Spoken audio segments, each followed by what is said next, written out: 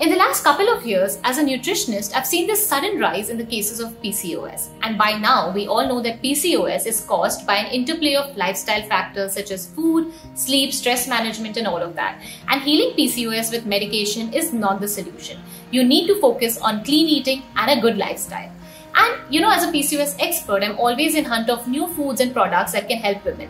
And recently, I came across this andMe Women's Protein Drink, which is a perfect blend of plant protein and amino acids with vitamins and minerals like magnesium, zinc, inositol, and herbs such as shatavari, ashwagandha, gotu kola, green tea, and many more, all of which help in balancing your stress and your hormonal health.